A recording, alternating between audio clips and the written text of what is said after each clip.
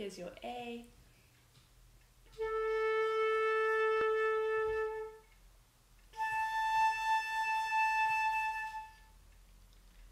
One, two, three, one, two.